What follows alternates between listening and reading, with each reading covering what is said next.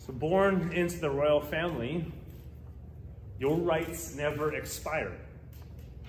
You are forever known as members of the monarchy with the keys to immense wealth, worldwide recognition, lifetime celebrity status, and so much more. But remarkably, and with very little historical precedence, two years ago, two members of the royal family of Britain actually stepped down as senior royal members. They no longer represent the Queen, and they're now completely financially independent of the royal family and the royal wealth, with a few other privileges that they lose. They wanted to chart their own path. They want to create their own separate line. Yes, the royal life, it does have immense privileges, but it comes with equally burdensome consequences. And for them, the pressure was way too intense, and there's way too much family tension. They've left, yes, but actually they technically they can come back, presuming the family and, and prince wants them back. And I think sometimes we, we think similarly of God's kingdom. By faith, we share in all the promises that Christ has given to us, and He has. And we think, yeah, we're, we're in this royal family, we're in this kingdom. But sometimes we think, I can do better. I think I can, I, I can create my own promise. I can, I can do this family better. This family, this, this royal family, this is way too messy. It, it's not what I had pictured. I'd like to control my future. I'd like to chart my own path, which, which moves us to the end of Galatians 4. Paul asks, Are you sure? Let me tell you about the line you come from and all the privileges you have, you could never experience on your own. Because Paul, as he has just said, you already share these privileges. These are already yours. And it can be too easy to fall back into the systems of the world, the things we think we can control. We've been purchased, we've been redeemed, but sweating and working for this, something that we feel like we earned, it can be way too tempting. So Paul actually brings your status up front. Your status as these royal citizens, as these, these the seed of the kingdom. You are you are no longer citizens, as Galatians 4 talks of this earthly Jerusalem, of this earthly kingdom. You're citizens right now of a heavenly kingdom. And you'll hear this as Paul brings it out in these three points. First, to see in your outline, is the temptation to leave, verses 15 to 20. We know the truth, you know the truth, but sometimes the temptation to leave this, to kind of chart our own path, it's really strong. And then point two is the promised seed, so verses 21 through 27. You are already citizens of the kingdom from above. And we come from the kingdom from below. We come from this earthly kingdom. And then point three, the freedom you need. So verses 28 to 31. This heavenly kingship is not something we think of and think this is coming later on. I can't wait till I actually participate in this. But this heavenly kingdom you're already citizens of, it actually, actually drives you through temptation, drives you through trials, drives you through hardships. It doesn't drive you around it. So in Christ, I hope you hear this. In Christ, you can truly experience your heavenly citizenship as a child of the promise, even through trial and temptation. And this is especially important as the Galatians hear this, as they're being tempted, as they have trials, when we are tempted to leave. Like this, this is getting kind of hard. This earthly kingdom doesn't like the heavenly kingdom and we're feeling it. This brings us to our first point the temptation to leave. So Paul bridges his thoughts from verses 1 through 40 to verse 15 by asking you kind of a simple question, but actually launches us into a warning. It says in verse 15, Do you know that you are blessed? that you actually have a blessing. This blessing is already yours. So he just finished reminding the Galatians of their royal inheritance. You already are blessed. This is, this is already yours. You, you received the Spirit that actually gave you, already gave you all the promise. Every right as an heir of God through Christ. Because formally, as he says, the Galatians would have literally gouged out their eyes and given them to him. It's, it's probably a sign of extreme affection. We'll even give you our eyes. That's how much we love you. And notice through the same eyes that at the beginning of chapter 3 saw Christ in his work through the preaching of Paul. We'll give it right back to him. We saw Christ through our eyes in your preaching. We'll give it right back to you. That's how much we love you. And so he asks much the same question he asked in Romans 4 surrounding the promise of Abraham. Or you could say the blessing of Abraham. Don't you know you're already blessed? You already have this. So he turns back around in verse 16, asking in effect, I've preached to you the good news of Jesus, and, and now you think I'm your enemy. Now you think I'm against you. Why is this? Those, those who've come to convince the Galatians that you can add from the law to the gospel, it's, it's become really appealing. I can, I can do something about this. I can do something on my own. So much so that the Galatians start wondering about Paul is the, is the gospel actually really good news? What you've been telling us, this is not what I'm hearing from other people. Is this actually good news? So Paul, in response, probably gives the best planned words in the Greek of any verse of Galatians. Because to shut you out in verse 17 is the same verbal form as church in Greek. So, you know, church comes the word to, to call out. And if you use that little first part, it's just to shut you out. So it says, instead of being called out ones, the church, which is where this comes from, those who desire to bring back the law are trying to shut you out. They're not calling you out of the church, they're trying to push you out of the church. So he's using this play on words. They, you think they're doing this, but what they're really doing is they're trying to push you out. They, they want to take you out of this covenant community. They want to take you out of this church by placing you, not just out and kind of on your own, but actually by placing you in the law, by placing you in the old covenants. And so he rebukes them. Says it, it is always good to be made of much for a good purpose, and not only when I am present with you. As if to say, you Galatians, kind of does too. You're really only zealous for the gospel when I'm with you. When I have my presence around you, then, then you want to do stuff. When I'm gone, you begin wondering if they're rights. So you're really only kind of zealous when I'm around you. Just like the Galatians, I think we can tend to take on the characteristics of those we admire. We're, we're zealous around those who are zealous and not zealous around those who are not zealous. They seemingly admired the Galatians They kind of whoever was stopped by last. It's, that was kind of freshest in their memory. They were zealous for this, now we're zealous for this. And I think we can do the same thing. They, they hitched, the Galatians did, their, their religious convictions on Paul's coattails. Kind of whatever he believed, which is good, is what they believed. It, it was really his fervor that they kind of mistook as their own only fighting for truth when Paul's around. It's almost like saying, well, Paul's here, better start fighting now. When Paul's here, we're going to have to do our own thing. I think if we're around, quote unquote, like good Christian people, we tend to be courageous and strong. Like, we're going to fight.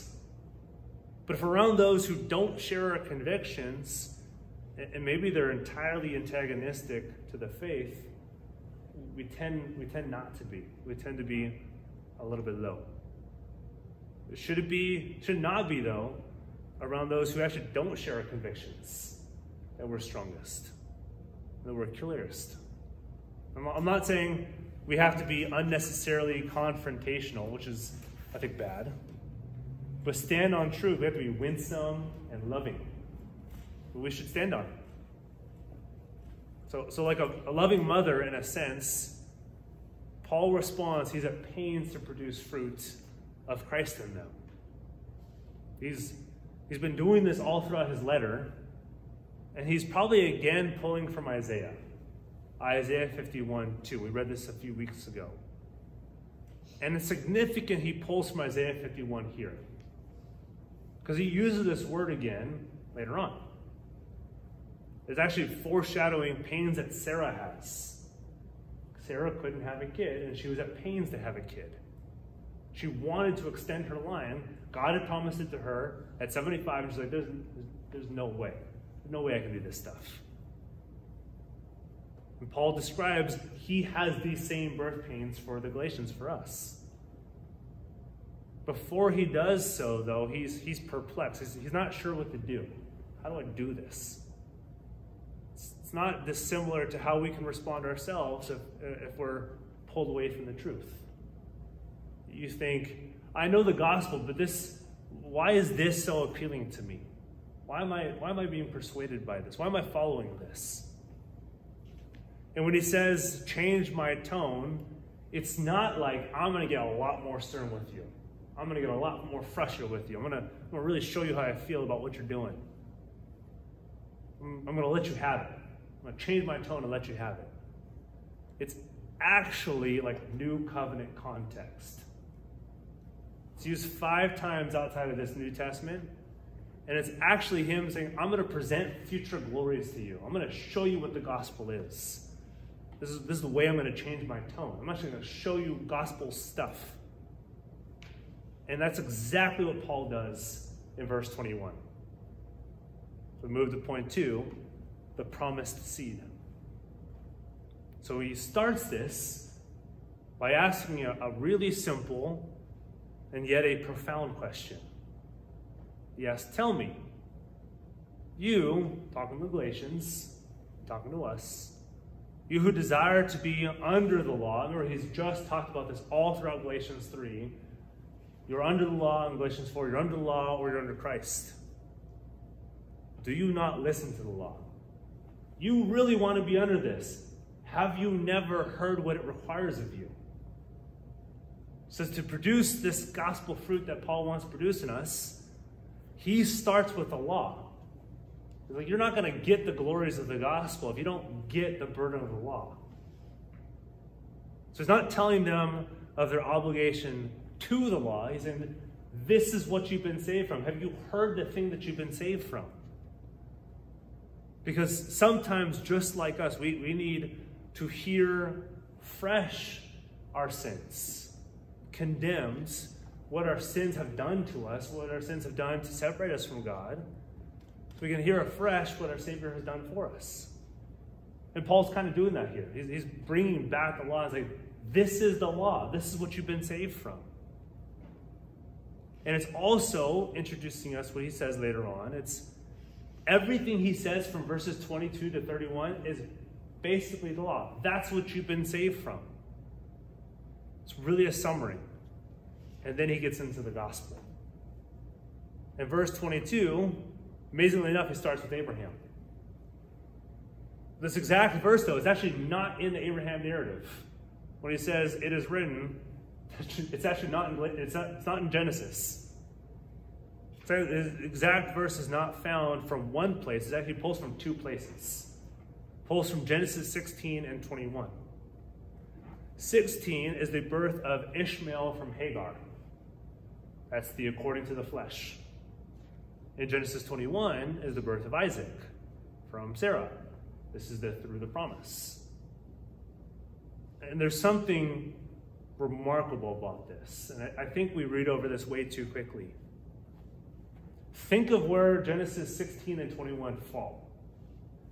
They're both after the covenants given to Abraham from the Lord. He sins in Genesis 16. He takes Hagar, Sarah gives him Hagar, immediately following the covenant given to him in Genesis 15. when the Lord promises Abraham that he will fulfill everything he has promised. Then, right in Genesis 16, is like, I think I can do it better. I think I can take Hagar. Sarah gives me Hagar, kind of taking on Adam and Eve again. Eve gives him the fruit to Adam and says, Hey, this is good. I think we can do this on our own. Adam's like, Sure, let's do it. Abraham does the same thing. He's like, Sure, I think we can make our own promise. It was his very sin taking another wife. He's got two wives in Genesis 16. He's, he's already got Sarah. It's not like he moves from Hagar to Sarah later. He's already got Sarah and he takes on Hagar. So, right after the covenant's given to him in Genesis 15, he sins in Genesis 16. But it doesn't nullify the promise. God doesn't say, Well, you messed up. Sorry. Not giving you any more. And Paul uses this now to confirm God's promise. Because in no way is it leveled on Abraham's obedience. He's not like, Abraham, you got to do this. Because if, it's, if it's on Abraham, this covenant's not keeping, this covenant's not staying on. Nor is Sarah's kind of act lifted up as an example for us, because she gives Abraham Hagar. Say, hey, let's, let's do this on our own. It all relates and it all revolves around God's faithfulness to us. So I can ask a question for you Have you failed? You know God's promise, you know God's word. Have you fallen? As, as Paul is promising the Galatians, as God promises Abraham, if you trust in Christ, it is not your performance. It is God's faithfulness. So Paul continues in verse 23 to explain who was born according to what purpose. Ishmael was Abraham's attempts to bring about God's promise, and Isaac was God's. Isaac, as, as the original says, was born literally according to the gospel. It's the same word we get from the gospel. For Sarah was an age that nothing can be born. If you're 75, you're not bearing a child. It's, it's a barren womb. It's, it's not something that's going to do anything. So for some kid to come out of her womb, that's, I mean, that's a miracle. It's, it's almost like a virgin bearing a child. And then a passage that has confused many, for Paul now says he's speaking allegorically. And you're like, hold up. If you're using our definition for allegorical, you're just kind of pulling a rabbit out of a hat. Something that's not actually there. Just kind of bringing something out of nowhere. And he's not, he's not pulling meaning from this that wouldn't have already been there. He's, he's using allegory to say this is a historical event, historical situation, and I'm applying it to the present. And I can do this because of Christ. That, that's his kind of definition of an allegory historical events we can apply to the present because of Christ. So he's not bypassing anything. He's, he's actually telling the Galatians and to you, contemporary believers, through the perspective of historical narrative. It still has bearing for us today. That's, that's how he's kind of bringing, that's how ancient authors thought of allegories. It's historical narrative that still has precedence for today. So he says these two women present two covenants. The first Hagar is Mount Sinai. What happens at Mount Sinai? Giving them the Ten Commandments. It's the written law, actual codified written law that they see. And notice that this births slavery. That's why the, the people hearing the law, upon hearing the law, in Exodus 24, right after they get the Ten Commandments, they said, We'll do this. We'll do all of it. So they actually, they willingly subject themselves to the law. They actually could have said no. I think this is too hard. But they willingly subjected themselves to the law. We can do this. That's, that's what births slavery. They said, yeah, I can obey. Much as the Judaizers are coaxing the Galatians to do. They're like, hey, you can do this. If we had circumcision, maybe a few things from the law, I think you can separate yourselves. So the Israelite generations to follow from Sinai actually born into this. The decision the people make in Exodus 24 to say, yes, we can do this. Everybody after that is given the same commandment. Okay? They said this, now you have to do it. And so Hagar and their attempt to bring the promise on their own, again, Sarah brings Hagar to Abraham. He says, okay, let's do this. Is compared to an earthly Jerusalem. Mount Sinai and the law is compared with a temple in Jerusalem. That's where the temple's at right now, is in the middle of Jerusalem.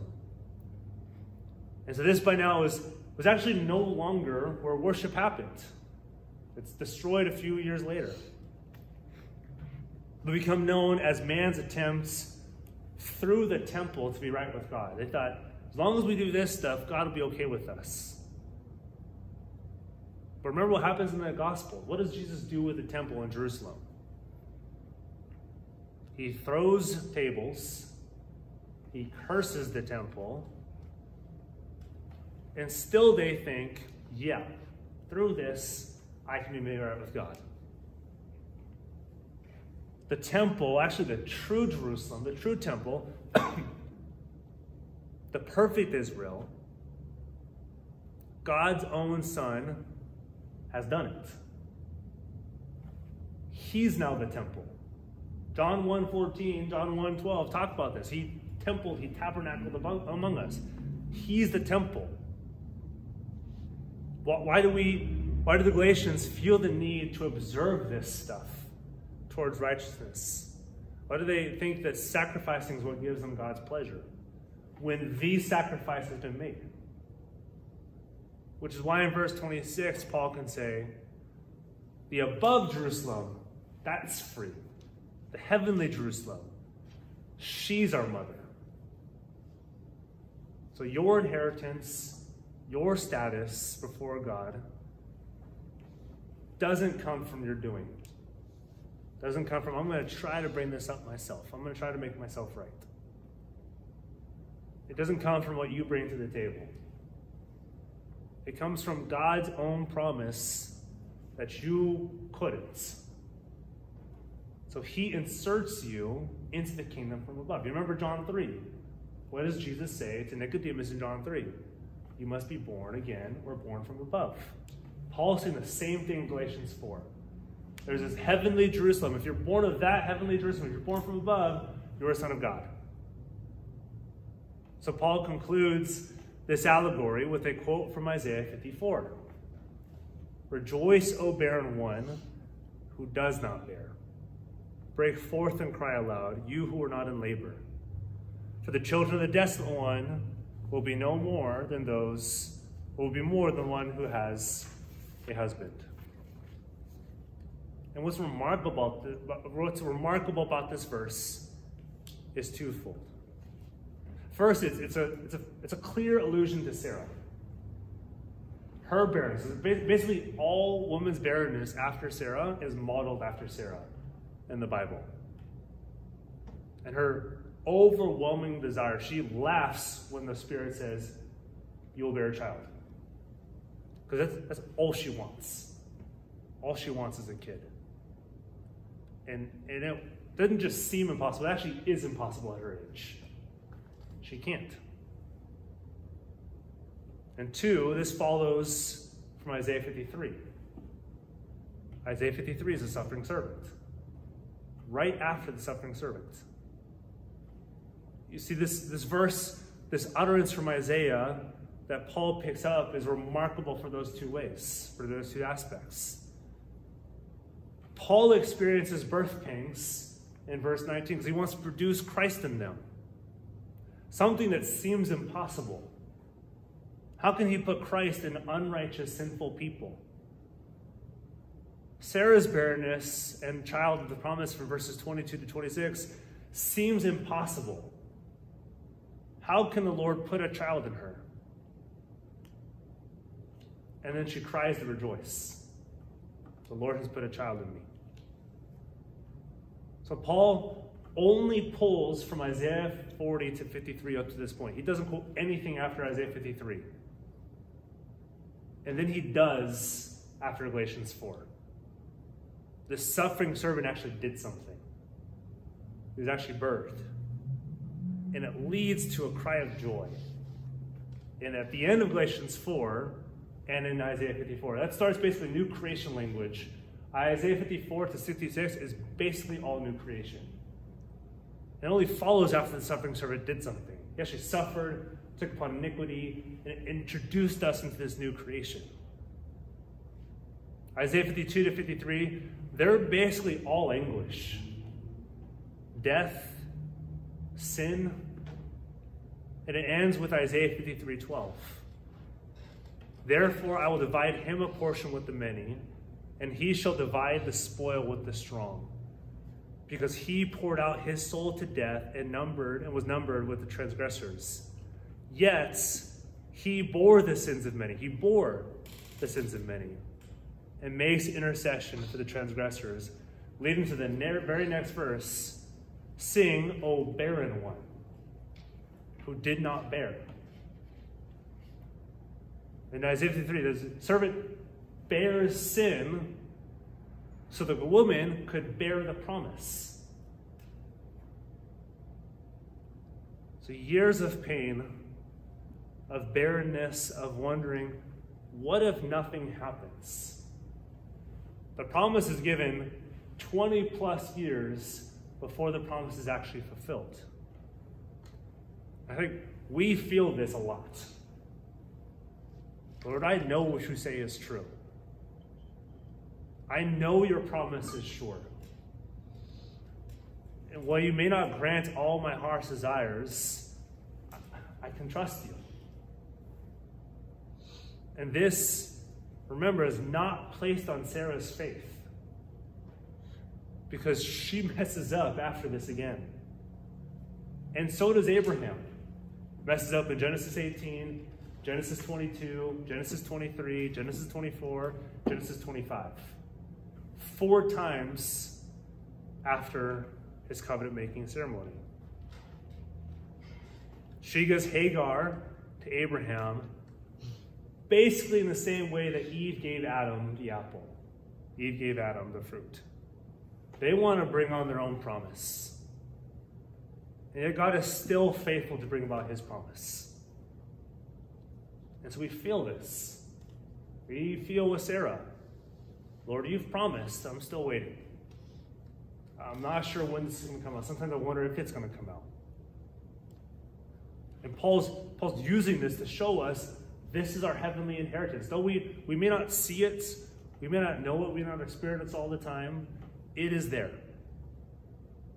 And God's faithfulness is the bedrock we need to remind ourselves that this royal privilege, our status in the promise of his son, that we are his offspring and we shared his benefits.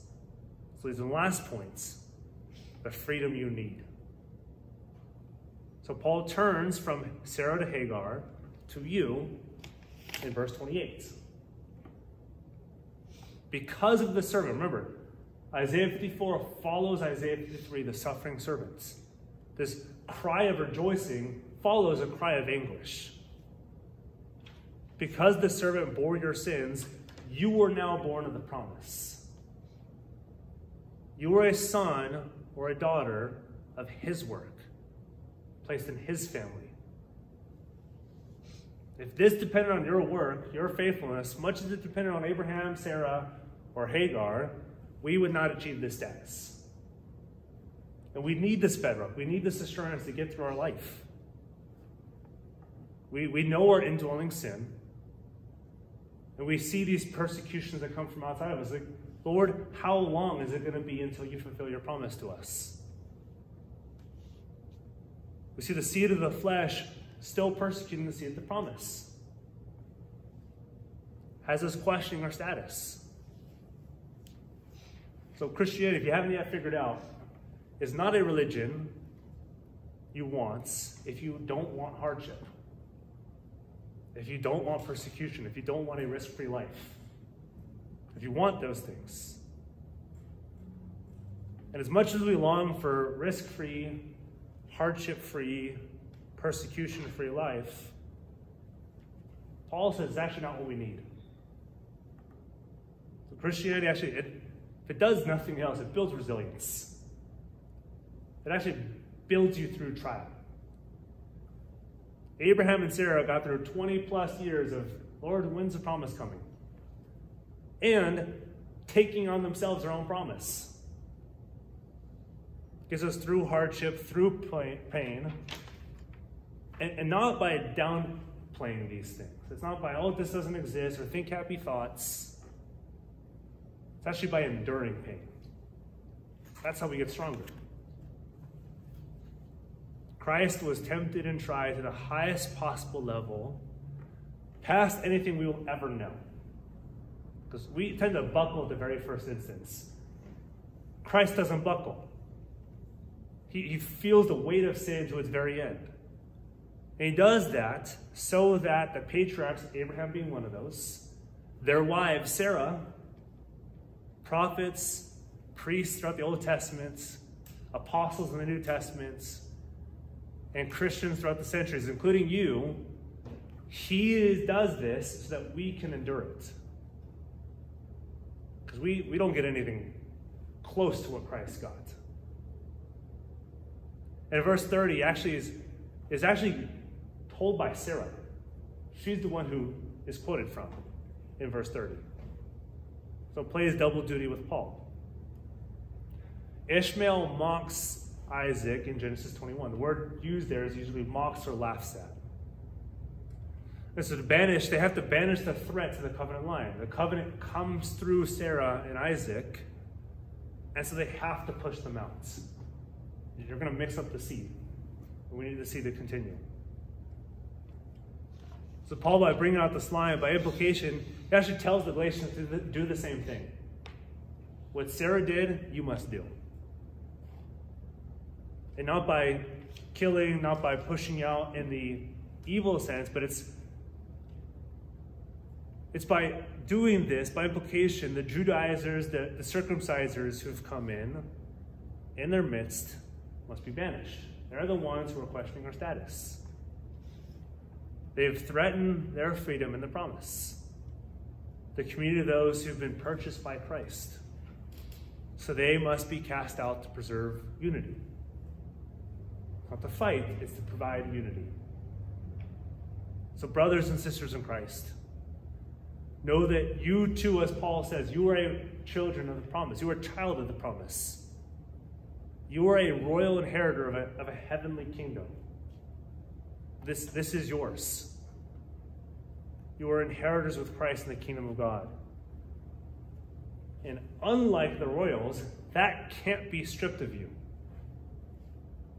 You can't lose your status as a, as a kingdom child. So, how through this should we live? You're probably thinking this last week, or this last month, maybe a year, or you actually can't remember a time that you haven't been burned by sin, by persecution, by things outside of your control. And you start wondering, with all this stuff that's, that's happening around me, am I actually a child of the seed. Because surely this wouldn't happen to me if I was. Or maybe you're not sure what it's like to have a faithful father or mother. And so this, this parental relationship with God, it, seems suspect. Are you sure he's a good father? Or you just can't imagine what actually does this do for me? What actually, what does this life give me? This promised status, this heavenly citizenship assures you that Jesus will never loosen his grip of you. Doesn't look at your performance and say, well, this one isn't, isn't up to snuff. Doesn't look like a royal heir. Doesn't look like a kid of my kingdom. He doesn't loosen his grip. But the God the Father invites you and his family with bonds that transcend death actually get stronger with death. So you must hear, as Paul says, the law telling you you have fallen under the curse of God because of your sin and shunned from his family. But trust in the gospel. That's Paul pleads with you and I plead with you. to be inserted back into the family. Not by a different God, but by the very same God. Through the work of his promised son, the suffering servant that Paul talks about. That gives us this new child promise. Who bears the promise by taking, bearing the curse. Gives you his spirits and then gives you full access to this new royal family that you are now in. And that royal family will never end. Let us pray. Lord, we thank you that you've done this for us, that you've you both prayed for us, you've borne the sins that we should have. You've inserted us into a family that will never cease. A family that, that takes us in, gives us a new identity, we will always be children of this promise. And it's because of the work of your Son. We thank you and we praise you. All this in your Son's name. Amen.